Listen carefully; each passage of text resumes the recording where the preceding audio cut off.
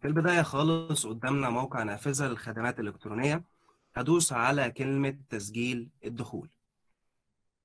مجرد ما دوست على كلمة تسجيل الدخول لو أنا كاتب ال user name وال password بتاعتي قبل كده هتكون saved في فأنا هنا أقدر أضغط على كلمة تسجيل الدخول ومجرد ما أضغط عليها يدخل عندي على طول. أو الطريقة التانية الدخول الذكي من خلال ال e-token اللي بتكون متوصلة باللابتوب بتاعي أو ال PC اللي أنا زي ما قلت أقدر أحصل عليها من خلال مصر المقصة أو Egypt Trust بعد ما دخلت على حسابي على موقع نافذة هيكون عندي كلمة حسابي اللي أقدر من خلالها أعمل كل حاجة خاصة بال ACI ومجرد ما ضغطت عليها أدوس على كلمة طلب الحصول على رقم تعريفي ACID لو حضراتكم خدتوا بالكم في كذا option موجودة عندي بس إحنا مش هنتكلم غير عن اتنين. هو طلب شحنات ال ACI ده موجود فيه ال history بتاعي طلبات شحنات ال ACI اللي أنا طلبتها قبل كده بحالتها. اللي أقدر من خلاله لو أنا فتحته ألاقي ال history بتاعي كله وأقدر من خلاله إن أنا أبحث عن أي شحنة أنا عايز أدخل عليها وأعدل فيها أي حاجة. بالنسبة لطلب الحصول على رقم تعريفي ACID ده بمثابة الحصول على طلب رقم تعريفي ACID ACID جديد. يعني أنا بطلب شحنة ACI من أول وجديد. مجرد ما ضغطت عليه سألني هنا سؤالين هل هو صناعي أو تجاري أو استخدام خاص أم هو مرتجع صادر؟ في الحالة اللي عندي دي هتكون صناعي أو تجاري أو استخدام خاص. بمجرد ما دوست على كلمة إبدأ التسجيل هيطلب مني ظهرت لي الشاشة دي اللي هيطلب مني فيها ثلاث بيانات أساسية. أو مش ثلاث بيانات أساسية ثلاث أنواع من البيانات. أولهم هي بياناتي أنا كمستورد اللي أنا داخل من حسابي عليه وبيانات المصدر وثالث حاجة بيانات أساسية للشحن. لو حضراتكم دوستوا لو شفتوا في بيانات المستورد هتلاقوا هنا في سهمين موجودين عندكم تحت بالمنظر ده زي اللي أنا مؤشر بوجه المؤشر عليهم. حضراتكم مجرد ما هتدوسوا عليهم هتلاقوا اسم الشركة بتاعتكم فيه. في فأنا بمجرد ما بختاره بيملأ المعلومات الخاصة بالشركة اللي أنا already مسجلها وأنا بنشئ الحساب بشكل تلقائي. طبعا في بعض البيانات زي رقم هاتف المنشأة ورقم الفاكس والموقع الإلكتروني أنا سايبهم لأنهم عرضة للتغيير. فحضراتكم عايزين تملوهم آه مفيش مشكلة مش عايزين تملوهم برضو مفيش مشكلة. طبعا هنا آه ميناء الوصول ونظام الخضوع آه في الحالة اللي إحنا بنتكلم فيها المطارات اللي شغالة هي مطار القاهرة ومطار أسوان في الوقت الحالي ونظام الخضوع بقدر أغيره برضو من القائمة الموجودة عندي. في البداية خالص هختار هنا على سبيل المثال أنا آسف طبعا هي دي برزنتيشن معمولة على الشحن البحري بس هي بتسري برضو على الشحن الجوي فأنا هختار هنا اسكندرية. وهختار نظام الخضوع قطعي من أنظمة الخضوع اللي عندي موجودة كتير جدا. طبعا أنظمة الخضوع هي أنظمة التعاملات المالية مع الجمارك. زي ما أنا قلت أنا كده خلصت أول نوع من البيانات هي بيانات المستورد. هبتدي أدخل على النوع الثاني من البيانات وهي بيانات المصدر. وزي ما قلت لحضراتكم كل المصدرين اللي أنا شغال معاهم لازم يكونوا مسجلين على كارجو إكس ولازم يكونوا مديني رقم التسجيل ده عشان أقدر أسحب بياناتهم من نافذة. فبكل بساطة هيكون معايا رقم التسجيل المصدر أو المورد هيكون باعتهولي هكتب رقم التسجيل اللي هو خمسة واحد تمانية زيرو واحد اتنين اتنين تلاتة. واكتب نوع رقم التسجيل. هختار نوع رقم التسجيل. هل هو بينشأ حسابه على CargoX؟ هل هو أنشأ حسابه برقم تسجيلي أم برقم ضريبي؟ تمام؟ هو طبعا هو اللي بيبقى معرفني المعلومات دي. ومجرد ما ادوس بحث هتظهر لي كل البيانات الخاصة بالمصدر.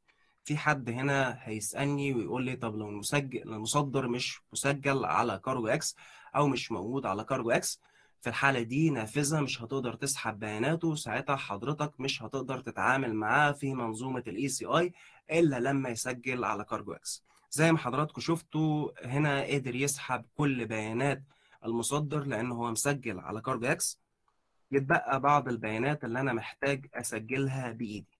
زي نوع المصدر الأجنبي اللي من خلال القائمة دي بقدر أختار نوع المصدر الأجنبي.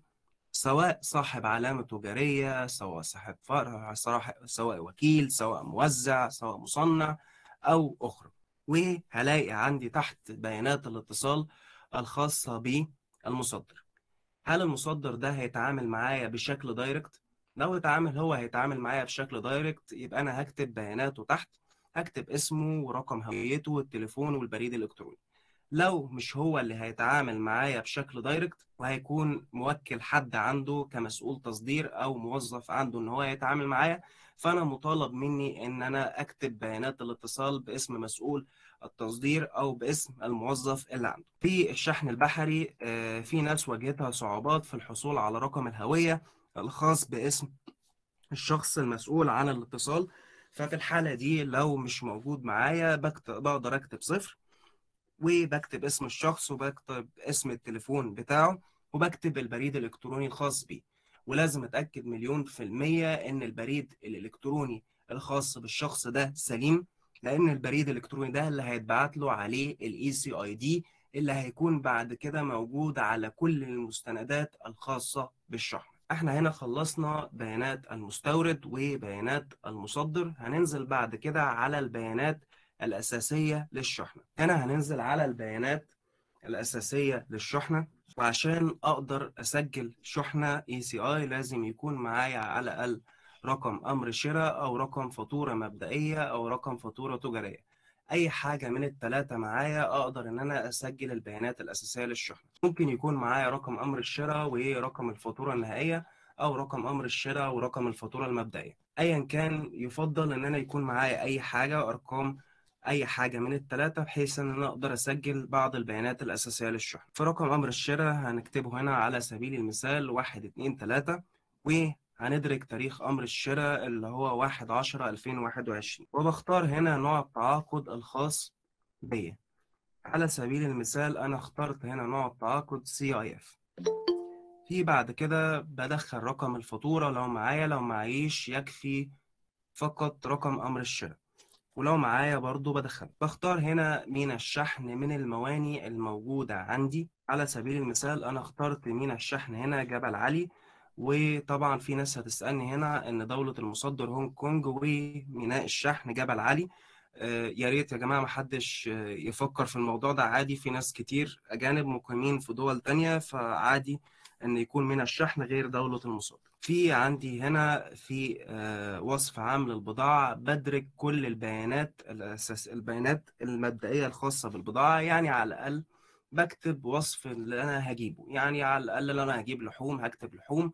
لو أنا مثلا هجيب خيوط هكتب خيوط أيا كان. بمجرد ما خلصت الثلاث بيانات اللي عندي ثلاث أنواع البيانات اللي إحنا اتكلمنا عنهم اللي هي بيانات المستورد وبيانات المصدر والبيانات الأساسية للشحنة أنا كده خلصت أول مرحلة وأقدر أدوس أضف بمجرد ما دوست أضف هو هنا سجل لي البيانات الأساسية للشحنة. في سؤال هنا يطرح نفسه هل أنا أقدر أجيب آه، كذا شحنة بنفس رقم ال ECI؟ آه موجود. يعني أقدر أجيب شحنة من كذا مصدر بنفس رقم ال ECI؟ آه أقدر أعمل كده. بس طبعا في لازم تتوافر بعض الشروط الأساسية. إن هم يكونوا جايين على نفس رقم الرحلة ونفس وسيلة النقل وطبعا جايين من نفس المطار أو من الميناء الجوي. طيب إزاي أقدر أعمل كده؟ أنا دلوقتي خلصت بيانات جاية من مصدر واحد. بمجرد ما دوست على كلمة تأكيد بيانات المصدر وبيانات الشحنة هيديني هنا الأوبشن إن أنا أتابع إن أنا أدوس على كلمة تحقق من البيانات أو أرسل الطلب. أو إن أنا أضيف مصدر جديد بفاتورة جديدة أو أمر شراء جديد. يعني أقدر أجيب من كذا مصدر بنفس رقم ال ECI في الحالة اللي قدامي دي أنا مش هعمل كده وهدوس على كلمة تحقق من البيانات وأرسل الطلب. دوست على كلمة تحقق من البيانات وأرسل الطلب. هتظهر الشاشة دي قدام حضراتكم بالرقم ده. واحد واحد ستة تلاتة زيرو تلاتة اتنين. طبعا في ناس هتفتكر إن ده رقم ال ACI ده مش رقم ال ACI ده رقم مبدئي للحصول على ACID أنا لسه ما حصلتش على ال ACID قبل ما أحصل على ال ACID في بعض خطوات لازم أعملها. قبل ما أقدر أحصل على الرقم التعريفي للشحنة ال ACID تعالوا مع بعض نشوف الخطوات دي. بمجرد إن أنا دوست على كلمة تسجيل الطلب بشكل أوتوماتيك هيحولني على الشاشة الخاصة بنافذة. أو system نافذة. هيكون مطلوب مني هنا في الشاشة اللي قدام حضراتكم إن أنا أدرج بعض البيانات من أجل الحصول على رقم تعريفي ECID أنا أدركت بعض البيانات في الأول بس أنا محتاج بيانات عليها زيادة من أجل الحصول على رقم تعريفي ECID تعالوا نشوف مع بعض البيانات اللي أنا أدركتها معظم البيانات اللي أنا أدركتها في الشاشة السابقة هتلاقوا إن هي موجودة قدامكم طيب لو أنا حبيت أغير حاجة منها بقدر إن أنا أغيرها أو أعدلها. على سبيل المثال بقدر هنا أغير نظام الخضوع بقدر إن أنا أغير النظام الجمركي المتوافق وبقدر إن أنا أغير نظام اللي هو جمرك وصول البضاعة. لو أنا مش هغير حاجة يبقى أنا فاضل لي إن أنا أدرج بيانات الفاتورة. محتاج أدرج بنود التعريفة من أجل الحصول على رقم تعريفي ACID لو بصينا هنا على بنود الفاتورة هتلاقوا برضو إن في بعض البيانات مدرجة من البيانات الأساسية للشحنة اللي إحنا أدرجناها في الشاشة السابقة. فهتلاقوا هنا المورد الأجنبي المسجل على CargoX. تحت هتلاقوا عند حضراتكم موجود حاجة اسمها بنود الفاتورة. أنا لسه ما ضفتش بنود التعريفة الخاصة بالفاتورة. فهتلاقوا عند حضراتكم كلمة اسمها بنود الفاتورة. بس قبل ما ندرج بنود الفاتورة محتاجين ندرج قيمة الفاتورة وعملة الفاتورة. من خلال التاب الخاصة بالعملة بقدر إن أنا أدور على أي عملة أنا محتاجها. لو أنا حافظ كود العملة على نافذة اللي هتيجي مع حضراتكم بعد كده بالتدريب والممارسة ممكن أكتب مثلا على سبيل المثال لو أنا عايز أختار الدولار بكتب USD capital وبدوس Enter لو أنا مش عارف أو أي حاجة أنا مش عارفها وجنبها عدسة بقدر إن أنا من خلال العدسة أدور على الحاجة اللي أنا مش لاقيها أو مش عارف الكود بتاعها. على سبيل المثال خلينا نبص إزاي. دوسنا على كلمة العملة إيه في العدسة الموجودة على الشمال. ومجرد ما دوست عليها فتح لي الشاشة دي. بحدد الاسم اللي أنا هدور بيه أو بختار محدد البحث اللي أنا هدور بيه وبكتب اللي أنا عايزه. على سبيل المثال هنا كتبت دولار ودوست على كلمة بحث. مجرد ما دوست على كلمة بحث ظهر لي العملات كلها اسمها دولار. فهنا أنا هختار دولار أمريكي. مجرد ما دوست دولار أمريكي هقف عليها وأدوس موافق. أنا كده اخترت دولار أمريكي. نيجي بعد كده لعدد بنود الفاتورة. هنا أنا بحدد كام بند أنا جايبه في الفاتورة دي. كام بند تعريفة أنا هدرجه وعلى أساس كده هبتدي أضيف بنود الفاتورة تحت. يعني لو كتبت هنا عدد بنود الفاتورة واحد يبقى أنا أنزل تحت على بنود الفاتورة وأدوس أضف وأضيف بند واحد. طيب لو هدرج اتنين بند فاتورة يبقى أنا هدوس على أضف وبعد ما أخلص أدوس على أضف تاني وأضيف بند فاتورة تاني. طيب أنا هنا في الحالة دي لأن هي مثال أنا هضيف بند فاتورة واحد. فهكتب هنا واحد. خلينا نعتبرها واحد. هنيجي على بنود الفاتورة وهندوس على أضف هتظهر قدامكم الشاشة اللي قدام حضراتكم دي اللي من خلالها مطلوب بعض البيانات التفصيلية الخاصة ببعض الأصناف زي بند التعريف خاصة بالصنف زي بند التعريفة ودولة المنشأ وغرض الاستخدام وميناء الشحن والكمية الجمركية ووحدة الكمية الجمركية وسعر الصنف بالفاتورة والوزن القائم والوحدة. بقف أول حاجة مطلوبة مني خلي بالكم يا جماعة خلينا ناخدها قاعدة عامة أي حاجة موجودة بالأزرق قدامي في الشاشة بتاعة الإدراج الخاصة بالإدراج لازم تدرج فبند التعريفة دولة المنشأ ميناء الشحن سعر الصنف بالفاتورة الوزن الصافي غرض الاستخدام. الكمية الجمركية الوزن القائم وحدة الكمية الجمركية والوحدة كلهم مطلوبين مني إن أنا أدرجهم أول حاجة هختارها هي بند التعريفة اللي أنا طبعا هنا أنا مش عارف أجيبه إزاي فأنا هدوس على علامة العدسة اللي جنب بند التعريفة. بمجرد ما دوست على علامة العدسة اللي جنب بند التعريفة ظهر لي هنا طريقتين أقدر أدور بيهم على بند التعريفة بتاعي. لو أنا حافظ رقم بند التعريفة بقدر إن أنا أختار رقم بند التعريفة وبكتب الرقم بتاعه. لو أنا حافظ الوصف بتاع بند التعريفة بقدر هنا أعلم على الاسم اللي موجود رقم جنب بند جنب رقم بند التعريفة وبكتب وصف لبند التعريفة. أنا أنا حافظ الرقم الخاص ببند التعريفة اللي هو 29 33 55 بحدد هنا رقم بند التعريفة وبكتبه وبدوس على كلمة استرجع. مجرد ما دوست على كلمة استرجع جاب لي بند التعريفة الخاص بيا. طبعا هنا بند التعريفة بتاعي موجود الوصف بتاعه جنبه مكتوب الشرح بتاعه كل حاجة.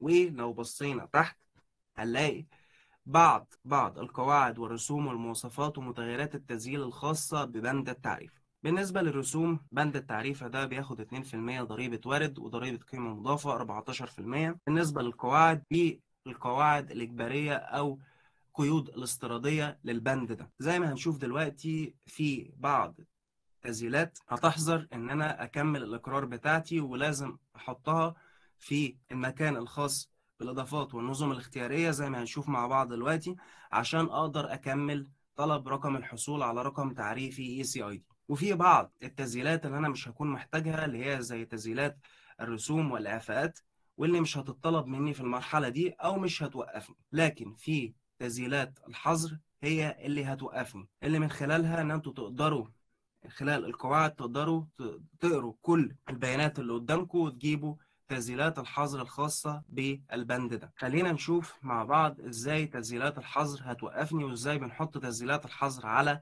الشهادة. في الأول خالص خلينا بس الأول نخلص بعض البيانات اللي قدامي اللي هي البيانات اللي قدامي زي دولة المنشأ وغرض الاستخدام والبيانات اللي تحتها. دولة المنشأ زي ما اتفقنا إن إحنا لو حافظين الكود بتاعها هنكتبه لو مش حافظين هندور عليه من العدسة. غرض الاستخدام بيسري عليه نفس الأمر.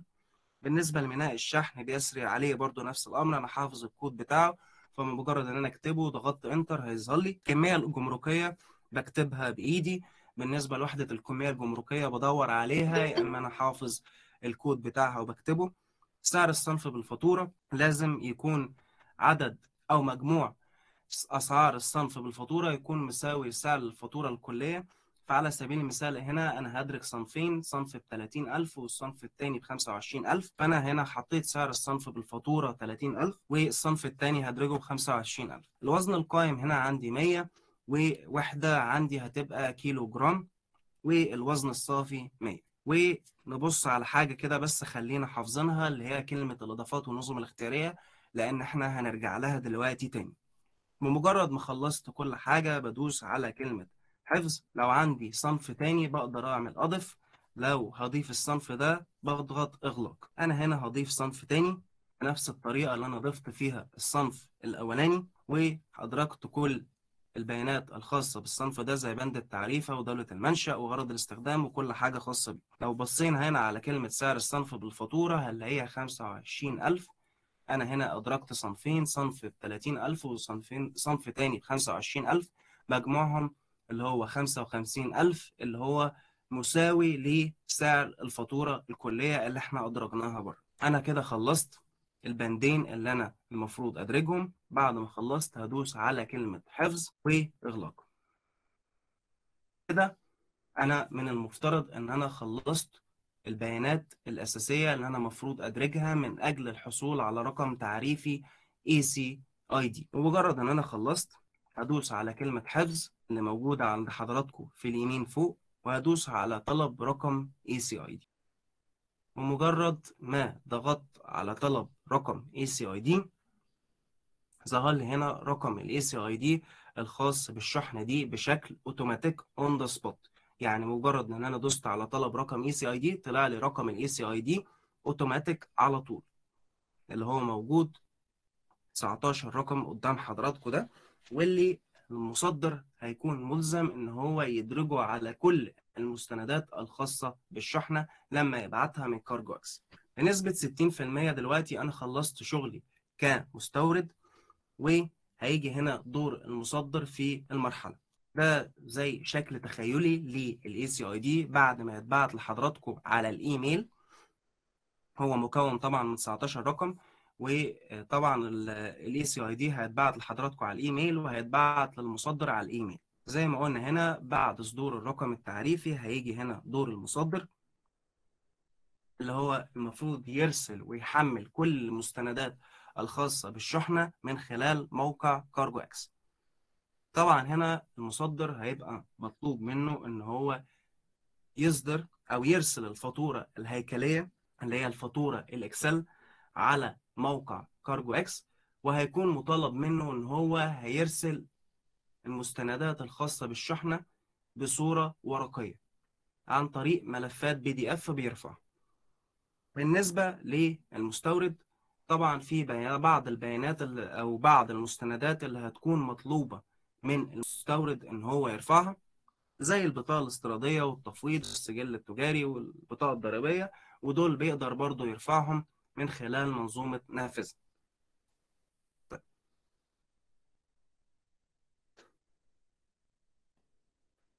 هنا أنا حابب بس أنوه عن حاجة مهمة جدا.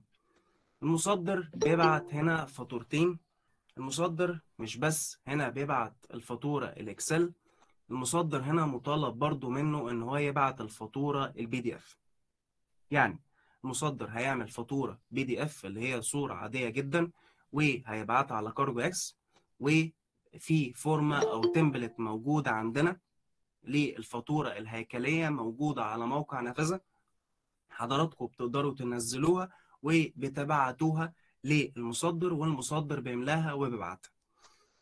الفاتورة الورقية اللي حضراتكم شايفينها هتقدروا إن أنتوا تطلعوا عليها بالنسبة للفاتورة الهيكلية لما المصدر بيملاها وبيبعتها على كارجو إكس بتملى البيانات التفصيلية ليه على منظومة نافذة يعني حضراتكم شايفين شاشة الإدراج اللي إحنا كنا شغالين عليها؟ بمجرد ما المصدر بيبعت الفاتورة الهيكلية اللي هي ال Excel sheet وبيملى كل البيانات الموجودة فيها وبيبعتها على CargoX منظومة نافذة بتستقبلها وبتفرغ البيانات دي كلها في البيانات التفصيلية الخاصة بالشحنة اللي موجودة على system نافذة. في بعض البيانات الأساسية اللي المفروض تكون موجودة على الفاتورة التجارية ال PDF الخاصة بالشحن. خمس بيانات أساسية. أول حاجة هي رقم تسجيل المورد الأجنبي ورقم التسجيل الضريبي المستورد المصري الرقم التعريفي للشحنة طبعا اللي هو ال ACID وبند التعريف المتكامل الكود القياسي للصنف ال GS1 أو أي نظام ترقيم آخر بيتم اتباعه. طبعا مش كل الأصناف لي- ليها GS1 code زي ما إحنا كلنا عارفين وفي أصناف تانية بتبقى مرقمة من المصدر خلينا نتكلم عن ال GS1 وأنظمة الترقيم الخاصة بالمصدرين. طيب ال GS1 هو نظام ترقيم أو نظام رقم تسلسلي عالمي خاص بجميع السلع اللي موجودة والمعروفة لينا دي بتطلع عن طريق رقم كودي أو باركود.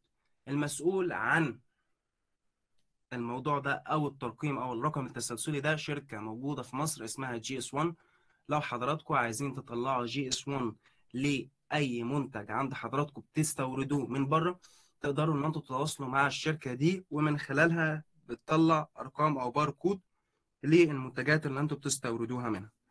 بالنسبة للمنتجات اللي ما بتخضعش لل GS1 بنتبع أنظمة ترقيم أخرى زي ال part number وال coding number وال model number ودي بتبقى على حسب ال preference أو تفضيل المصدر. إحنا قلنا إن ال GS1 أو أي نظام ترقيم آخر هم مطلوبين جدا عشان نقدر نكمل ال process بتاعتنا. بس دلوقتي هنبص بقى إيه اللي بيحصل بعد ما آه المصدر بتاعنا بيرسل الفاتورة الإلكترونية على منظومة نافذة. بعد ما المصدر بتاعنا بيصدر أو بيرسل الفاتورة الإلكترونية على منظومة نافذة هيكون برضو مطلوب مني إن أنا أراجع البيانات اللي الفاتورة الهيكلية دي ملتها في منظومة نافذة. وهجيب عن بعض الأسئلة المتعلقة بالشحنة مثل كفاية المستندات المقدمة وبعض الأسئلة الأخرى. وهراجع على بنود الفاتورة والأصناف بتاعتي زي نوع الصنف ووصف الصنف وعدد التشغيلات والوزن القائم والصافي والوحدة لكل منهم وبيانات الأصناف. وهراجع على البيانات الأساسية للشحنة زي القيمة المقر عنها. ده شهادة أو طلب ECID هنا المصدر بعت لي البيانات بعت لي المستندات الخاصة بالشحنة وبعت لي الفاتورة الهيكلية وبعت لي صور المستندات. أنا دلوقتي هنا مطلوب مني إن أنا أدخل أراجع على كل المعلومات اللي الفاتورة الهيكلية ملتها وراجع على الصور اللي هو بعتها. هشوفها هل سليمة ولا لأ وأوقع عليها إلكترونيا باستخدام الإي توكن اللي إحنا ذكرناها في الأول. خلينا نشوف إحنا بنعمل إيه. زي ما حضراتكم شايفين الشاشة ما بقتش بسيطة زي ما كانت في الأول. الشاشة زادت شوية والبيانات فيها زادت أكتر. ظهر عندي القيمة المقر عنها زي ما حضراتكم شايفين على الشمال خالص فوق اللي المفروض هنا أدرجها بإيدي. ظهر هنا عندي المؤشرات ومحددات الإقرار ودي الأسئلة اللي أنا قلت إن إحنا المفروض نجاوب عليها. زي هنا كفاية المستندات المقدمة هل الرسالة الواردة ستوك؟ هل الرسالة الواردة تحت الشبكة كل الأسئلة دي يا إما هجاوب عليها بنعم أو لا. بس في سؤال منهم مهم جدا وهو كفاية المستندات المقدمة اللي لازم لما نتأكد إن كل المستندات بتاعتنا موجودة والمستندات الخاصة بيا كمستورد أنا رفعتها بغير السؤال ده من لا إلى نعم طبعا. طيب لو في أي سؤال منهم بينطبق عليا بغيره إلى نعم. أنا هنا غيرت السؤال إلى نعم ومفيش أي مؤشر من المؤشرات دي بينطبق عليا فخليتهم كلهم لا. دلوقتي زي ما قلت الفاتورة الهيكلية اللي المصدر بعتها ملت كل البيانات اللي موجودة على منظومة نافذة. دلوقتي جه دوري إن أنا أراجع البيانات دي وأشوف البيانات دي صح ولا لأ ولو محتاجة تعديل أعدلها طبعا كل التعديلات بتكون في القائمة الخاصة ببيانات الفاتورة اللي زي ما حضراتكم شايفين ظهرت قائمة جديدة اسمها بيانات الأصناف اللي من خلالها أقدر إن أنا أعدل كل البيانات الخاصة بيا لو في أي غلط في الأصناف بتاعتي. طيب هنقف على قائمة بيانات الأصناف وبقف عليها مجرد ما بقف عليها هبص عندي في الجنب هلاقي حاجة اسمها تعديل بيانات الأصناف اللي من خلالها بقدر أعدل بيانات أي صنف عندي. فعلى سبيل المثال اخترت الصنف اللي موجود عندي وهنا أقدر إن أنا أعدل في الصنف ده أو أعمل أي تغيير عليه حتى لو أقدر إن أنا أعدل في الصنف ده. فبكل بساطة بكتب بند التعريفة المصدر بعتهولي وبدوس على كلمة استرجع. وبمجرد ما دوست على كلمة استرجع ظهر لي هنا بند التعريفة الخاص بالمصدر. عندي هنا كلمة اسمها بند التعريفة المتكامل اللي من خلاله بقدر أختار بند التعريفة المحلي الخاص بيا. من خلاله بقدر أكتب بند التعريفة الخاص بجمهورية مصر العربية. على سبيل المثال أنا كتبته هنا كله على بعضه اللي هم العشر أرقام ودوست على كلمة استرجع. ظهر لي هنا بند التعريفة والوصف الخاص بيه. هنا بند التعريفة. ظهر لي. مجرد ما أدرجت هنا ممكن أدرج بعض البيانات زي دولة المنشأ وغرض الاستخدام وعدد تشغيلات الصنف ونوع الصنف و GPC لو هو مش موجود عندي اللي هو زي ما قلنا اللي هو GS1 بقدر إن أنا أعدل. في عندي هنا كلمة اسمها عدل اللي من خلالها بقدر إن أنا أعدل البند غير البند اللي المصدر بعتهولي وده متاح ليا ومش هيحصل فيه أي مشكلة طالما إن أنا مسموح لي باستيراد البند ده.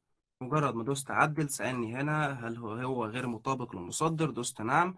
يبقى أنا كده خلصت تعديل بيانات الأصناف اللي عندي وهنزل على كل صنف. هنا طبعا أنا عندي صنف واحد لكن في الحالات اللي هتبقى موجودة عندي هيبقى عندي أكتر من صنف وأقدر أدخل أعدل كل صنف بإيدي أنصح حضراتكم إن أنتوا تتكلموا ما تيجوا تعدلوا بيانات الأصناف إن أنتوا تتكلموا 15460 هيساعدوكم بشكل عملي إن هم يكونوا شايفين الشاشة قدامهم وهيقدروا يساعدوكم حضراتكم بتعدلوا بيانات الأصناف الخاصة بطلب ال ACID. في بعض الحاجات اللي الفاتورة الهيكلية ما بتقدرش تملاها على سبيل المثال هي الاتفاقيات. فالاتفاقيات بقدر إن أنا أوصل لها من خلال بنود الفاتورة اللي عندي بفتح بند الفاتورة. بجيب بند الفاتورة بتاعي وبدوس على كلمة افتح. وأول ما بفتح هلاقي هنا الاتفاقية موجودة عندي. بختار الاتفاقية اللي بتنطبق على البضاعة أو الشحنة الخاصة بيا. وبختارها من القائمة اللي عندي. وبختار نوع الإعفاء. لو في نوع إعفاء محتاج أختاره جنبها. وبدوس على كلمة حفظ. طبعا القيمة المقر عنها أنا محتاج أكتبها بالمصري زي ما حضراتكم شايفين فوق. محتاج إن أنا أكتبها بإيدي بالمصري محتاج إن أنا أحولها من عملة الفاتورة سواء هي يورو أو دولار أو ايا كان عملة الفاتورة إيه ومحتاج إن أنا أحسبها وأكتبها بالمصري. في عندي بعد كده محتاج أشوف الصور اللي بعتها المستورد على CargoX. دلوقتي أنا شفت الفاتورة الهيكلية دلوقتي أنا كنت براجع الفاتورة الهيكلية اللي هو بعتها وعملت البيانات. دلوقتي جه دور ال soft copy من المستندات ولازم أدخل أشوفها وراجع عليها وأشوف هل دي فعلا سليمة ولا مش سليمة. بكل بساطة هفتح صور المرفقات اللي موجودة في الجنب. هيظهر لي كل صور المرفقات الخاصة بالشحنة دي. هقف على كل مرفق وهدوس على كلمة عرض و مجرد إن أنا دوست على العرض المرفق ظهر لي.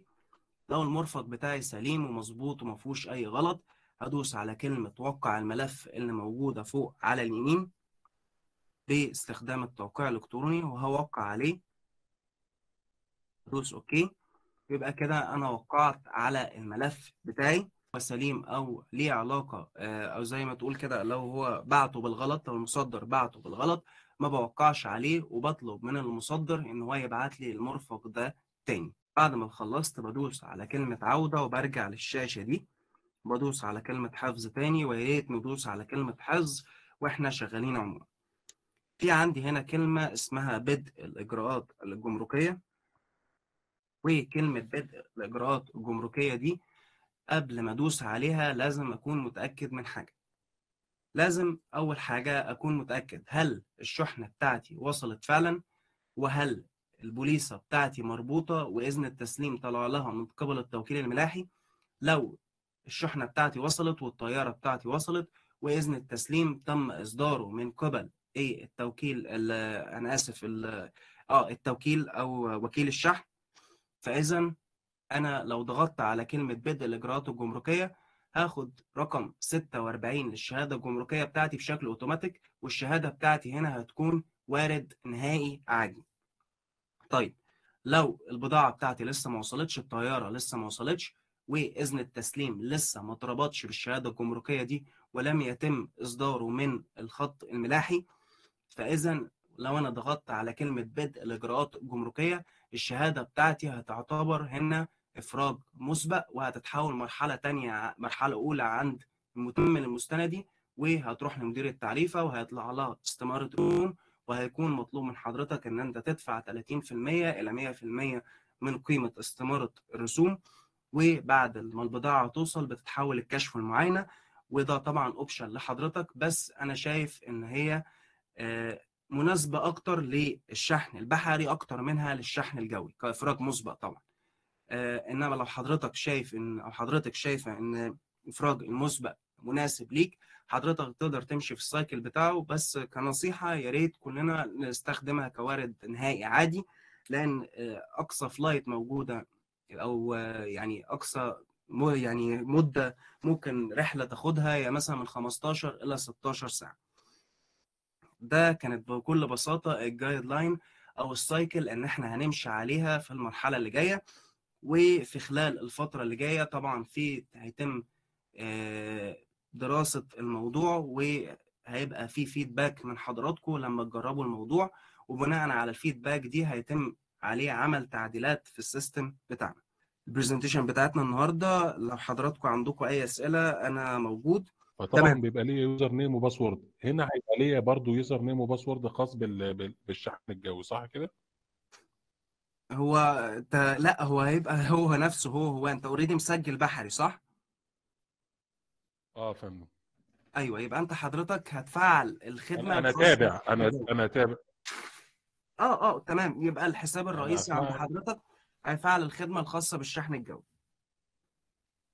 تمام. بس أنا قصدي يا فندم أنا دلوقتي لما حضرتك دخلت دخلت على إيه؟ على الحصول على رقم تي اللي هي أول خطوة. تمام اللي هي أول خطوة إن إحنا عشان نخش نسجل. تمام. فطبعا دلوقتي أنا هتتحدد إزاي ان هي بحري ولا جوي ما هقول يعني لحضرتك على حاجة هقول لحضرتك على حاجة انت بتختار مينا الشحن صح؟ مينا الوصول أيوه تمام لو انت اخترت مينا آه القاهره أيوه فاهمني؟ أيوه بس فهي أيوه هتتحدد على هذا الاساس يعني تحديدها على حتة اختيار المينا بالظبط تمام يا فندم تمام ماشي مستأذن حضرتك بس سؤال اتفضل يا أستاذ آه بالنسبة للفاتورة في أوقات بيبقى فيها مصاريف.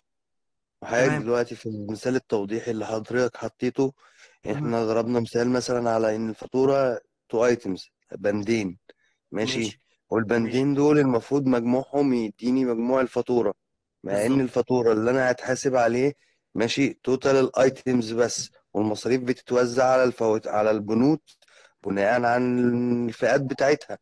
أنا دلوقتي لما أجي أحط قيمة الفاتورة في في الم- في المستند الأساسي في أول خطوة أحط في قيمة الفاتورة إزاي وهي بندين وفيها مصاريف؟ سعر الصنف. أقول لك أنا سعر الصنف. أنا لو إحنا رجعنا ال- للخط الفاتورة الأساسية لما أجي أيوه. أحطها بحط قيمة الفاتورة زي ما حضرتك حطيت 55000 بالظبط. ال 55000 دي قيمة الفاتورة كبضاعة 51 ومثلا سي في freight وفي insurance وفي packing وفي يورو وفي مصاريف تانية كتير. أكيد. في حدود ال 4000 أنا قيمتي الأصناف عندي 51000 أنا دلوقتي لما أجي أحط ادرك كل بند لما أحط البندين قيمتهم 51 وأدوس حفظ هل يا ترى الحفظ دون هيقول لي أنا موافق إن أنا أحفظ ولا هيقول لي قيمة الجزء العام بتاعك مختلف عن قيمة البنود؟ لا أنا هقول لك بقى. أول حاجة في الخطوة الأولانية خالص تمام؟ وأنا بدرك سعر الصنف بالفاتورة. أنا بدرك سعر الصنف بالفاتورة لحد اللحظة دي. أنا ما بدركش مصاريف الفاتورة. تمام؟ ده آه. أول خطوة. أول خطوة خالص. طيب بعد ما أصدر لي رقم تعريفي ACID والمصدر بعت لي الفاتورة وبعت لي كل حاجة. تمام. أنا حضرتك صنف سعر صح؟ طبعا. تمام. وال total بتاعهم بيساوي اللي هو إيه؟ الفاتورة الكليه صح. طيب هتلاقي عندك tab ة لوحدها اسمها مصروفات الفاتورة تمام؟ في نفس بنود الفاتورة تمام؟ نفس اللي هي ال- القائمة بتاعت بنود الفاتورة هتلاقي حاجة اسمها مصروفات الفاتورة. ليه؟ قيمة خاصة بيه. تقدر إن أنت تدخل عليه وتغيرها هو هيقول لك أنت عايزه قيمة ولا نسبة؟ هو. محسوب by default نسبة تمام؟ حضرتك ادخل. غيره قيمة واكتب رقم القيمة واكتب العملة بتاعت الإيه؟ القيمة. آه لما بيكون عندي مثلا سي المشمول على أربع فواتير وفي فاتورة منهم فري وجاية صفار. ماشي؟ فبناخد سي دولار من الفاتوره اللي فوق وبنحطه في الفاتورة اللي صفار. ماشي؟ وبعد كده بيتعمل تعديل سعر. المكمل المستند بيعمل تعديل سعر بناء على الأسعار اللي موجودة. ماشي؟ خلاص. أنا دلوقتي لما أكون عندي الفاتورة زيرو. ماشي؟ الفاتورة نفسها جاية زيرو. الصنف اللي هيبقى زيرو. بس جوائل مش الفاتورة معاك جاي الصنف زيرو والصنف ده جاي له سعر قبل كده في فواتير من الفواتير اللي موجودة؟ أيوه بيبقى السعر متضمن في قلب. الفاتورة value for custom purpose only. تمام ماشي هتحط يعني السعر ده ده جاي. للأغراض الجمركية. حضرتك تمام. حضرتك أنت مفيش هتضيف تغيير بقى هيحصل. قيمة الصنف ده سيادتك هتضيفها في في المصروفات بتاعة الفاتورة في مصروفات البلاس اللي هي هتحط فيها ما هو أنت كده هتحط بتقول لي علي نموذج أربعة لما أضيفها طب معلش مصاريف. ممكن اجاوب على المصاريف لا. حضرتك؟ المصاريف على علاقة حضرتك لما أجي يا أنا ريس بعد اذنك يا في أستاذ أحمد. المصاريف يبقى الجزء العام أعلى ماشي اتفضل حضرتك. معلش يا عشان جماعة بس المشكلة دي قابلناها كذا مرة والحمد لله بتتحل عن طريق الام تي اس في أيوه أنا المطار هقول لحضرتك على حاجة هقول لحضرتك على حاجة. ماشي. أنا حضرتك آه. بس ليك مطلق الحرية إن أنت تحط السعر اللي أنت يعجبك لأي صنف تمام؟ الفكرة في إيه؟ هو الفكرة إن أنت اتفضل. المرحلة اللي أنت حضرتك بتتكلم فيها دي في مرحلة ما بعد ال 46 مش مرحلة ما قبل ال 46 أنت فاهمني؟ ماشي يعني ما هو أنا أنا بتكلم إزاي؟ سواء إزاي؟ أيوه تدركها إزاي؟ وخاصه حضرتك عندك صنف صح؟ آه. حضرتك عندك صنف. الصنف ده قيمته إن هو جاي لك من غير فلوس صح؟ إن هو جاي لك هدية مش كده؟ تمام. أيوه يا بس هو الصنف أيوه. ده أنا المفروض أعرفه كجمرك إن هو المفروض يكون مدرج عندي على الشهادة. ماشي. تمام؟ طيب حضرتك أحط أحط قيمته إيه بقى؟ حط قيمته واحد حط قيمته صفر بس هو المفروض إن هو يكون موجود. بس ماشي ما هو أنا لما باجي بص حضرتك طبقا لتعليمات البنك المركزي تمام ماشي طبقا لتعليمات الجمارك إن. المفروض الجزء اللي أنا مقر عنه في. الإقرار الضريبي المفروض. يكون ملحق أربعة ماشي مضاهي ليه ومساوي ليه تمام خلاص أنا دلوقتي في ال... في في في في, في الشغل بتاعنا في المطار أنا. بتجيلي أربع مثلا فواتير عدسات ماشي تمام أربع فواتير أدوية في من تمام ضمنهم فاتورة جاية free من نفس الأصناف أو من صنف مختلف مفيش مشكلة فأنا بعمل إيه بقوم واخد دولار من الفاتورة اللي قبلها وحاطه. كقيمة فاتورة في دولار والفاتورة التانية لو هي ب 1000 بخليها ب 999 دولار ماشي. هل يا ترى دون مع إرسال الفواتير على CargoX حضرتك جربته في الشحن البحري صح؟ إن الفاتورة أنا مدرجها 999 إيه مم. لا أنا بتكلم على الجوي دلوقتي أنت جربته مع الشحن البحري حاجة صح؟ دلوقتي أيوه أنا فاهم. لا أنا ما جربتوش مع الشحن البحري. أنا الشحن البحري مكتب خاص بينا شغال هناك. أنا شغال دلوقتي في المطار بس. تمام. ماشي. أنا دلوقتي بتكلم في إيه؟ بتكلم إن أنا دلوقتي هقر إن الفاتورة ب 999 دولار وهي تمام الفاتورة مرفوعة على الكارجو إكس ب 1000 دولار. تمام. ماشي. ليه؟ تمام. تغاضيا علشان أقدر أدرك قيمة للفاتورة الفري تمام. بعد أما آخد 46 هيلاقي إن القيمة اللي أنا مدركها 999 دولار مخالفة للفاتورة اللي موجودة اللي هي 1000 دولار.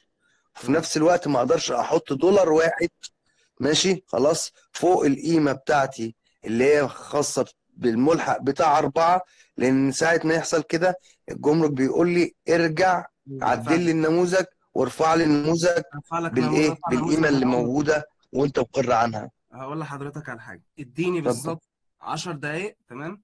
أنا بس بجيب معلومة كده مش اتفضل. بجيب معلومة بس أنا ه- هشير ما معاكم إحنا حاجة. آه، آه، هو السيمينار خلينا السيمينار اجاوب اللي معمول إيه؟ اتفضل اتفضل. خليني اجاوب بس السيمينار على اللي معمول لحضرتك واللي إحنا بنعمله دلوقتي بنحاول بقدر الإمكان إن إحنا نشوف عقبات اللي هتقابلنا ونبدأ نحلها حتى نشوف السيستم هيعدلها إزاي. هقول لحضرتك على حاجة. اتفضل. أنا هجاوب على حضرتك بس اديني 10 دقايق. لا لا يا فندم. مم. بالنسبة للأول قيمة الفاتورة. تمام قيمة الفاتورة بتبقى حضرتك. بتبقى فعلا شاملة مصروفات بقى تانية اللي هي ال ال ال يعني مش بتبقى قيمة ال- البضاعة لوحدها بتبقى في الت- مم. التكلفات أيوه في- حضرتك في قيمة مقرره. عندك صح؟ آه لا أنا بتكلم على قيمة الفاتورة يا فندم اللي في الأول خالص في الإدراج زي ما الأستاذ قال لحضرتك أحط. أحط القيمة أنهي أنت حضرتك وفقا للكلام ده عشان آخد ال ACID number في الأول حضرتك عايزني أحط القيمة الصافية بس اللي هي قيمة البضاعة بس صح عشان طيب، بعد كده أبقى على أعدل على القيمة آه، بناء على ال على ال على التكليفات دي بناء بعد كده لما تيجي الفواتير وتترفع من المورد بره صح كده؟ طيب أنا هقول لحضرتك صح؟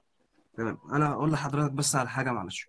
تمام؟ القيمة اللي حضرتك بتدرجها في الأول تمام؟ بعد ما المصدر اوريدي يبعت الحاجة قد القيمة دي قد تختلف قد تزيد وقد تقل صح ولا لأ؟ تمام يا فندم. تمام. هو بيبعت الفاتورة الهيكلية ليه؟ عشان يعدل أي حاجة حضرتك تمام كتبتها في الأول. يعني أنا دلوقتي مثلا أدركت الفاتوره المثال اسمع لحضرتك بس بعد إذنك. اتفضل اتفضل يا زهر. ب 10000 دولار. على سبيل المثال حطيت صنفين كل صنف واحد بخمسة وواحد بخمسة. تمام؟ طيب دلوقتي الفاتورة الهيكلية طلعت طلع الصنف الأولاني بستة والصنف الثاني بستة. لما هو يبعت الفاتورة الهيكلية وسعر الصنف حضرتك هتيجي تـ check عليه هتلاقي سعر الصنف إيه؟ اختلف. مختلف. تمام؟ ماشي. ليه تمام. لأن هو ده سعر الصنف الصح تمام. وهتلاقي فيه فاتورة اللي هو باعتها PDF سعر الصنف فيها مثلا كل صنف فيها ب مم. 6000 اللي هم تمام. ال total بتاعهم يساوي 12 صح ولا لأ؟ صح يا فندم مستر تمام مستر بالظبط. أحمد أنا في البداية مستر خالص اسمعني اسمعني يا أستاذ وائل معلش اتفضل اتفضل اتفضل اسمعني بس في البداية خالص في البداية خالص وأنا وأنا أصلا بدرج أنا عايز اطلب موافقة مبدئية. رقم ال ACID ده هو موافقة مبدئية. السعر دلوقتي ما يفرقش معايا. أنا الفكرة دلوقتي عندي في البند. هل أنا مسموح لي أجيب البند ده ولا لأ؟ تمام؟ فنقطة السعر دي تمام؟ خالص ما بيبصش عليها. أنا بيبص دلوقتي على البند. هل أنا مسموح لي أجيب البند ده ولا لأ؟ نقطة السعر دي ما تركزش فيها في الأول. أنا بتكلم بعد كده. المورد هيبعت لك الفاتورة. الهيكلية وهيبعت لك الفاتورة الورقية. صح ولا لأ؟ صح مستر أحمد أيوه معلش هي زي ما حضرتك قلت الفاتورة دي هي فاتورة عبارة عن فاتورة هيكلية يعني. المورد لما يجي يبدأ يشحن لي ممكن يلاقي التشارج نفسه بتاع الفريت اختلف أيوة. ممكن أيوة. يلاقي المصاريف التوثيق اختلفت ماشي. فهي الفاتورة دي هيكلية ماشي أيوة. أنا اتحكم مصروفات الفاتورة ليه؟ أنا آه. مديلك الأوبشن بتاع مصروفات آه. الفاتورة ليه؟ عشان حضرتك تقدر تغير أي مصروفات حضرتك محتاجها يعني مثلا الفاتورة دي لما تتغير كده أنا هغير في الجزء العام بتاع القيمة المقرة عنها ليا. هو القيمه ماشي؟ وأنت بتقول لي حضرتك وأنت. بتقول لي حضرتك اقر بالقيمة المضاهية للعملة اللي اللي معاك بالمصري. فأنا دلوقتي لو أقريت بالفاتورة الهيكلية والراجل حط لي مصاريف توثيق الورق آه ومصاريف آه الفريت ومصاريف ال- الحاجات دي كلها ممكن. تلاقي أنا وقعت في غرامة فرق قيمة. ليه؟ لأن أنا أقريت بالألف دولار اللي هي قيمة البضاعة. ممكن نعم. ممكن أقول أرد على حضراتكم لأن أنا مريت بالحالة دي بعد إذنكم. لا معلش يا أستاذ أحمد معلش خليني بس أجاوب على السؤال أستاذ ولاء معلش أنا آسف. يعني أنا عندي الحل الحل جاهز. لو حضرتك وده اللي أنا اشتغلت بيه. تمام. أنا بس يعني معلش أنا آسف بس أنا عايز أسأل على حاجة صغيرة. تمام؟ وحضرتك. كل ده كل ده أنت. مفيش فرق قيمة خالص. أنت حضرتك آه. ده لسه مرحلة مبدئية. تمام؟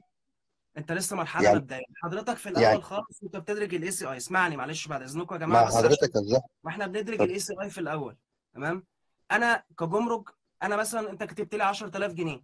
تمام؟ وبعد كده بعد ما المصدر بعت بعد ما المصدر بعت مم. في قيمة الفاتورة مثلا 12000 مش 10000 آه تمام هل الفرق اللي هو ال 2000 ده فرق قيمة؟ لا مش فرق قيمة ليه؟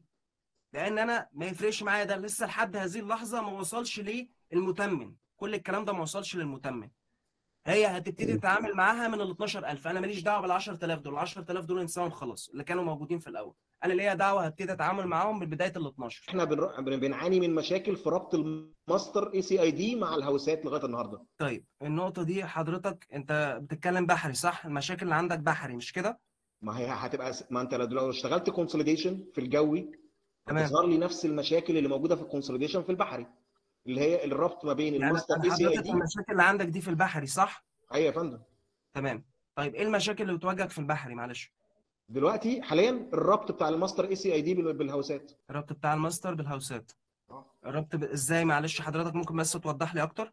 يعني حضرتك عندك نوعين من ال consol أنتوا عاملينهم على ال system. أنا فاهم أنا فاهم أنا أنا فاهم. قول لي إيه المشكلة اللي بتواجهك على طول.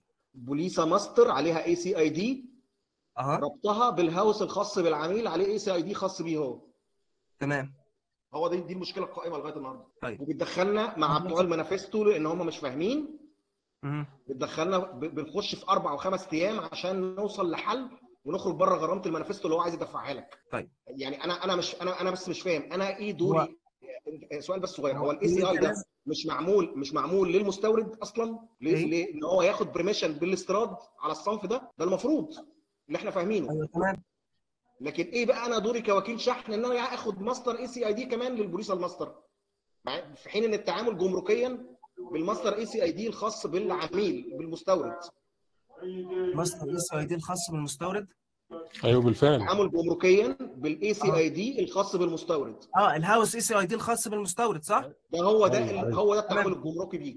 تمام. إيه علاقة وكيل الشحن. إن أنا أجيب لك master ACID لغاية النهارده على بوليس ماستر طيب أنا هقول لحضرتك على حاجة معلش هو يعني آه، إحنا إحنا- أحمد أنا اتنبح صوتي مع أحمد الروبي في السؤال في, الجزئية دي وما خدتش رد.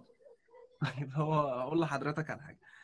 آه، بكل بساطة آه، الفكرة بس في النقطة بتاعة ال manifest دي هو إحنا شغالين عليها في الوقت الحالي وبنعالجها وشغالين عليها واحدة واحدة. يعني هو يمكن في مشاكل ال ACI اتحلت كتير في الشحن البحري بس هو لسه كان في بعض المشاكل ال manifest اللي اتحلت مؤخرا. وقبل زي ما قلت لحضرتك برضو في الأول قبل التشغيل الفعلي للجوي هيكون كل مشاكل البحري والجو إن شاء الله بنسبة 90% هيكونوا انتهوا منها. الجوي ما يستحملش ما المشاكل دي يا أستاذ أحمد. الجوي يعني إحنا بنقول على الوقت ولا نقول؟ إحنا إحنا ما الجوي ما يستحملش المشاكل دي تماما. لا مش هيستحمل أكيد. إحنا فاهمين النقطة دي كويس ومقدرين الكلام ده. فأكيد وبعد- أكيد مش هيحصل فيه نفس اللي بيحصل. حتة الطرود البريدية اللي حضرتك قلته 2000 دولار وقيمة و50 كيلو ده مش تمام. مقياس لأن ده المقياس في الآخر للراجل آه، مندوب الجمرك اللي قاعد في الوردية اللي بيستقبل الطرود البريديه يقول ده يتحجز وده ما يتحجزش. أنا قلت لحضرتك هيتم إصدار منشورات ليها مع التشغيل. في بعض البنود اللي بيبقى موجود عليها تسجيلات اللي في توصية من الجهات العليا إن نطبق التسجيلات بتاعة البنود في بعض البنود بيبقى لها موافقات تلغي العروض. تمام. ماشي يعني أنا ب- بجيب بجيب خامة دوائية. خلاص؟ فوجئنا من حوالي ثلاث أسابيع إن الخامة الدوائية دي البند نفسه كمادة خام ماشي؟ عارضني على المفرقعات وأنا جايب موافقة هيئة دواء. تمام. هل يا ترى التسجيلات اللي بترفع العروض دي إحنا اللي بنحطها ولا مين اللي هيحطها ولا مين اللي هيرفع لي العرض اللي هو مش. المفروض أنا ما تعرضوش؟ طيب حضرتك بتحط التسجيل. انت بتقرأ القواعد آه. بتاعت نص التسجيل بتاعك وبتشوف الله ينور على حضرتك. عليك. القاعدة اللي آه. بتنطبق عليك. القاعدة اللي بتنطبق عليك. وبتاخدها وبتكتبها تمام؟ وبتحطها في مم. الاضافات والنظم الاختيارية. ولو البند ده محتاج موافقة بتجيب له ورقة وبترفعها في صور المرفقات قبل ما تقدم أصلا لل ACID أجيب له ورقة؟ موافقة. بمعنى؟ هو محتاج موافقة. طب ما في موافقات بتبقى من هيئة الدواء بتبقى لاحقة مش سابقة. تمام. يعني في موافقات من هيئة الدواء ماشي من وزارة الصحة بتبقى لاحقة الشحن.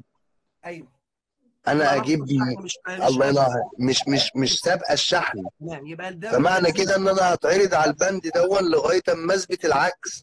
لا وبنروح في المطار هنا ماشي؟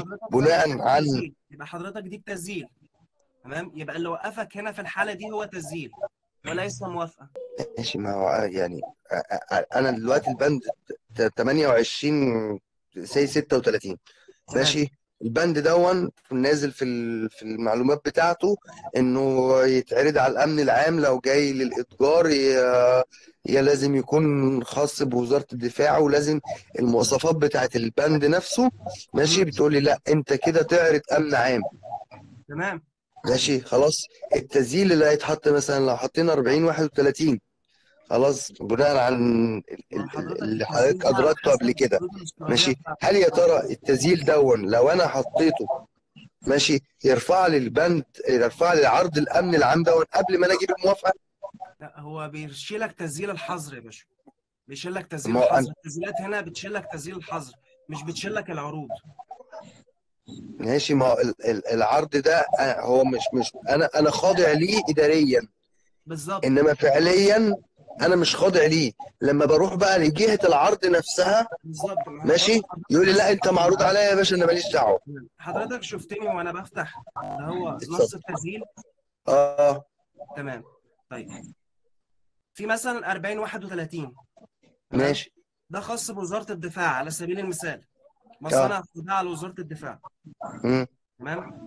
في بعده 40 32 آه. تمام؟ في بعده إضافات إضافات ثانية. تمام.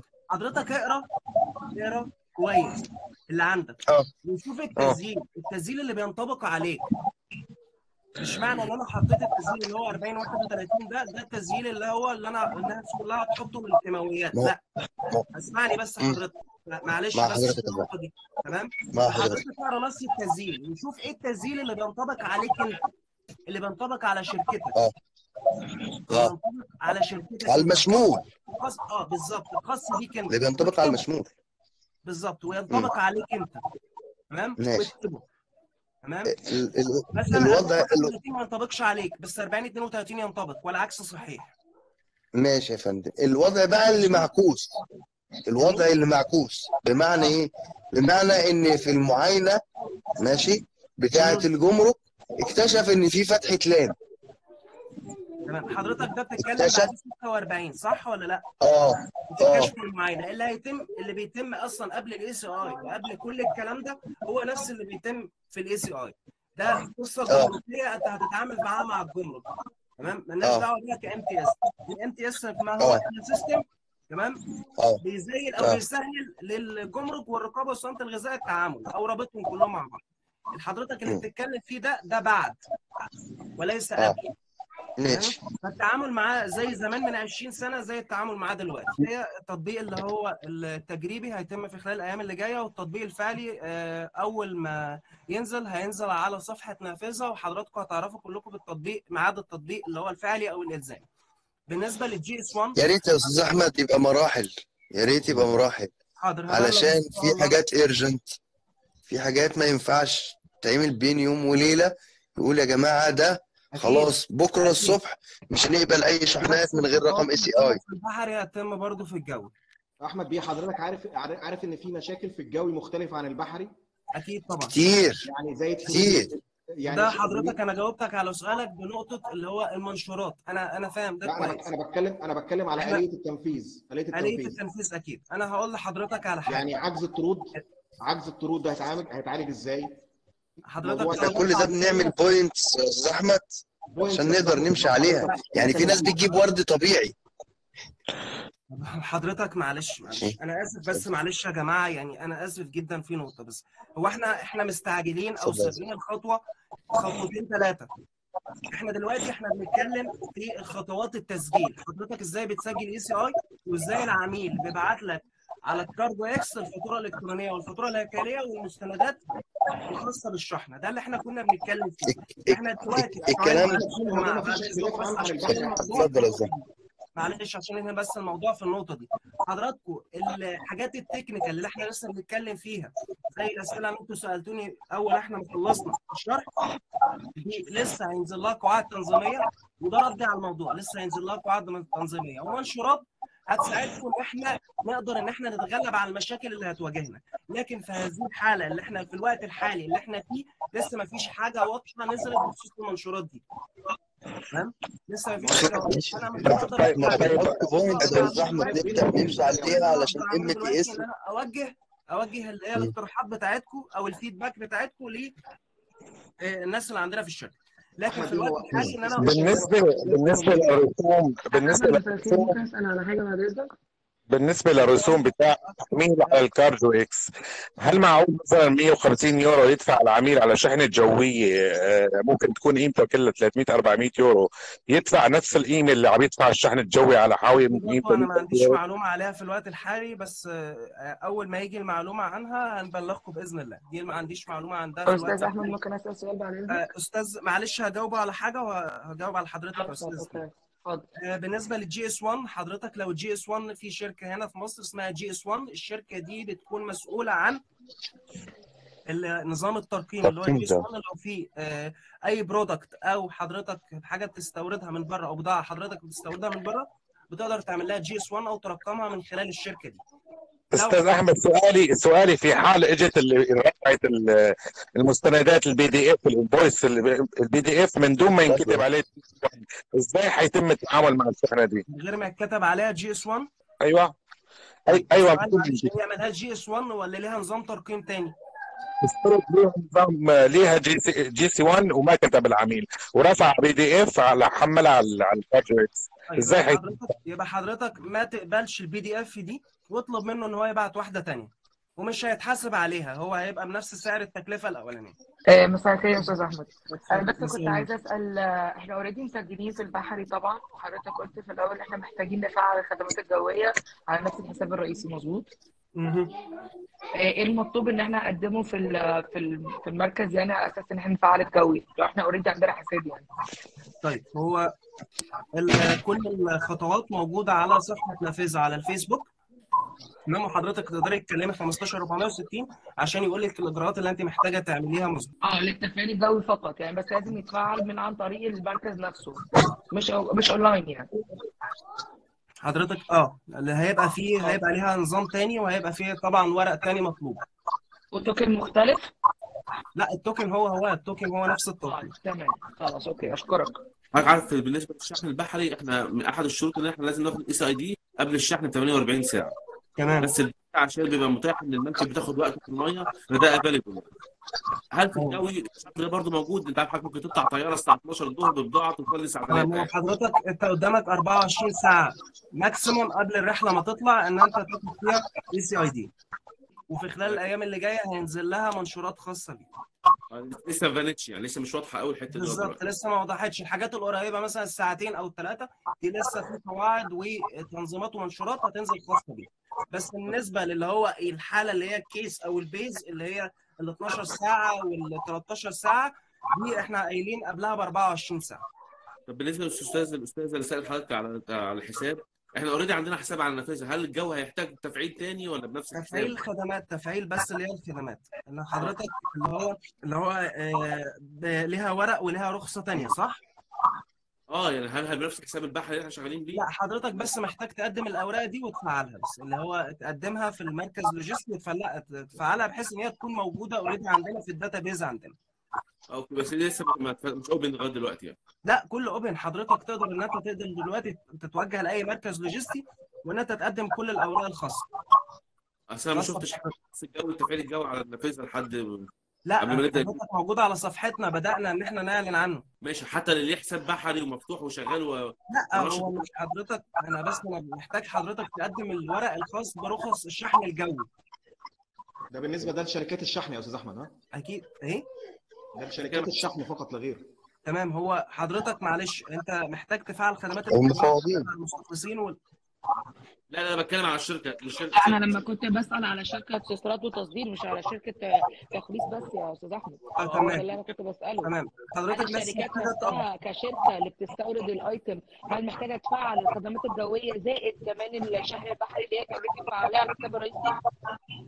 معلش أنا أنا الصوت بس قطع معلش أنا اسف. المستورد يا أستاذ أحمد المستورد. المستورد المستورد محتاج يفعل الخدمات الجوية على نافذه على- في الطريق المركز اللوجستي زي البحري ولا بس أنا- ده قائم على شركات الت- ال- التخليص وشركات الشحن. طيب أنا حضرتك بس ممكن تكلمي 15460 أو تتوجهي لأقرب مركز لوجستي هيبلغوكي بالحاجات الحاجات اللي انت المفروض تعمليها في الموضوع ده. لأني أنا هسأل بس في الموضوع ده وهرجع لحضراتكم تاني. بال- بالنسبة لل e-token يا أستاذ أحمد. ماشي هو دلوقتي مكتب تخليص ماشي وتعامل ال e-token كل حاجة. هل يا ترى المفوضين المفوضين ليهم e-token أي حد لازم يكون معاه توقيع إلكتروني. هو لو عنده حساب فرعي خاص بيه أو هو آه. متضاف كمستخلص تابع لازم يكون معاه الله أنا كان ليا حساب فرعي. تمام. حساب فرعي يبقى لازم معاه أنا ليا حساب فرعي. التوقيع الالكتروني ما هو معاك التوقيع الإلكتروني بتاع صاحب الحساب. هل يا ترى بقى الفرعي يعمل توكن وهو رقم التوكن ده للرقم القومي يا جماعة. يعني هل يا ترى. أي حد في الشارع ممكن يعمل توقيع إلكتروني. بالظبط. أنا بتكلم حضرتك دلوقتي أنا مثلا لو عندي شركة عندي شركة استخلاص وعندي اتنين مستخلصين شغالين معايا تمام؟ الله ينور عليك. فرعية هم بيستخدموا الحساب بتاعي وبيوقعوا بتاعي يبقى ما كده هم مش محتاجين إن هم يعملوا يعملوا لا لو لو ليه حساب فرعي. حساب فرعي إن هو لازم هنا يطلع إيه عندي آه، عميل واحد مستورد. وهيجيب من ثلاث موردين مختلفين ماشي. ثلاثة فرع على واحد ماستر. هنا كده هيبقى. هو محتاج يطلع طبعا لكل فاتورة رقم ACID ماشي. طيب أنا لما أجي هربط له ال A ال master ACI D بتاعي آه، مع التلاتة الفرع بتوعه. طب هو هنا عايز يجي في الآخر؟ هيضم هيضم التلات ف- فواتير في شهادة جمركية واحدة. في الحالة دي هيلغي اتنين اي سي اي من الهاوس ويستخدم واحد ولا هنعتمد له ثلاثة تحت الماستر. عشان ما يبقاش في ثلاثة متسجلين على الفاضي اتنين مش هيستخدم. واحد. تمام. يعني هو معلش أنا آسف. في بس حاجة يعني في نقطة هنا بس هي غريبة الشكل يعني. طيب أنا دلوقتي معايا 3 ACID وأنا نفس المستورد صح؟ أنا ليه يعني عملت أصلا 3 ACID أيوه يعني أنا يعني أنا مفرعهم وبعدين جمعتهم وبعدين أجمعهم تاني؟ يعني طب ليه؟ هي doesn't make sense. يعني أنا دلوقتي أنا قلت لحضرتك في الأول وأنا بشرح إن أنا لو عندي إن أنا ال option إن أنا أضيف مصدر صح؟ فأنا بكل بساطة وأنا بدرج ال ACID أصلا من الأول. وأنا بدرج ال ACID من الأول. أنا ممكن أدرج تمام؟ ثلاث مصدرين عندي. مع ثلاث لو جاي فرعيتين لمستورد واحد. أيوه ما هو يعني ثلاثة فرع المستورد واحد ليه؟ طب ما أنا ادي له ACID واحد وهو يعمل لي ماستر وبعدين بالظبط. ولما ماستر يجي ماستر هنا يتفرع. يتفرع على house واحد. هل الكلام ده ولا لو لو الاثنين مستوردين أو ثلاثة دي بس عشان هي جمركيا شوية مش من عندنا إحنا من دولة التصدير إن هم ثلاث موردين مختلفين تمام. فممكن أستخدم نفس ال ACID للثلاث موردين. ده ده ال case اللي حضرتك بتتكلم عليه. أنا أنا لو يعني كشرط إن إحنا أنا إحنا بس هتقابل هت... المشاكل اللي هتقابلنا في الجوي كالتالي. إن ممكن ال ready date بتاع الكارجو. يتغير في لحظة وتبقى تلاقي نفسك قدام أمر واقع إن أنت عايز تشيل الثلاث شحنات مع بعض بناء على طلب العميل. غصب عنك. يعني هو هو ما كانش ماشي في ال plan اللي حضرتك بتتكلم عليها؟ من الاصل هو كان ماشي إن كل واحد ليه time يعني time for shipping مختلف. دي هيتحط لها محددات برضه يا أستاذي. دلوقتي إن هو يوفر في ال freight charges إن هو يجيبهم كلهم على ماستر واحد مع بعض عشان يقلل تكلفته. تمام. هو استغل فرصة بديلة هنا ده اللي حصل. هو ده اللي بيتكلم فيه. ده هنعتبر إن ده ال- ال case وده اللي هيحصل في الجو ده مش هيحصل عمره ما هو يحصل في البحري هو مش هيبقى في مشكلة على ال system. أنا بس بجاوب إن هي وادي حضرتك مثال ومثال في نفس المثال. لو أنا لو أنا مشيت زي ما حضرتك عايز ثلاث موردين بثلاثه. CI CI okay؟ نفس ال ACID تمام. واحد. back to. back يعني. أهو. وجي له وجي. وجت الطيارة اللي هي اللي شايله اللي شايلة البضاعة بقت overloaded ركاب سابت سابت جزء سابت house كامل مثلا. وجي. اثنين من ثلاثة بقى ال ACI؟ ناقص. في طلبات manifest. حضرتك بت... ماشي هنضم هنضم طلبات manifest مفيش لا مشكلة. مش هنضم هنعمل اخطار بعجز جزء يا باشا وخلاص مفيش أي حاجة. ما هو المشكلة إن أنتم ده already بيتعمل electronic عن طريق خط طيران لا ده هيبقى موجود على system نافذة. هيبقى كمان موجود يدوي على system نافذة من العميل؟ بالظبط كده. مش يدوي إلكتروني من على system نافذة. إلكتروني يعني أنا اللي ب... أنا اللي بعمل الاخطار لا بتتوجه للمركز اللوجستي أو بتعمله من عندك بس يفضل إن أنت تعمله مركز اللوجستي.